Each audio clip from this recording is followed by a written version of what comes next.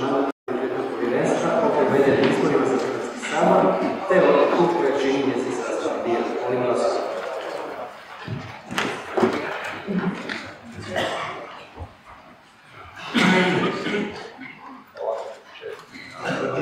da je jednoglasno sa 148 glasova za.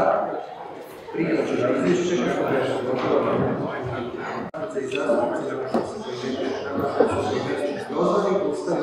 ustavi izgovaraju prisjeću. Tekst prisjeća nas. Pristižem svojom čašću da ću dužnost zastupnika u Hrvatskom saboru obnašati savjesno i odgovorno i da ću se u svom radu držati ustava i zakona i poštovati pravni poredak, te da ću se zauzimati za svekoliki i napredak Republike Hrvatske. Sada prelazimo na pozivanje zastupnika i onda vi govorite. Prvi na redu, Krešo Žiračka.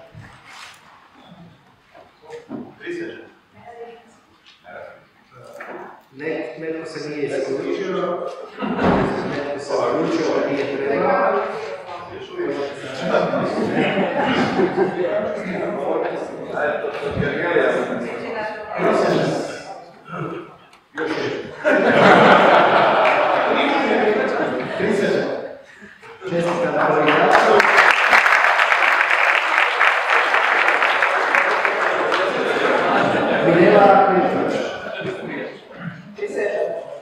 Čestitam kolegice Petrović.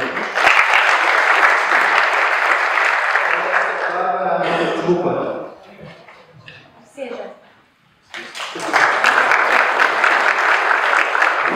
Kolegice i kolege da stisnu mikrofon da se čuje zvuk za vas. E, Jasenka Auguštan Petek. Prisežem. Čestitam.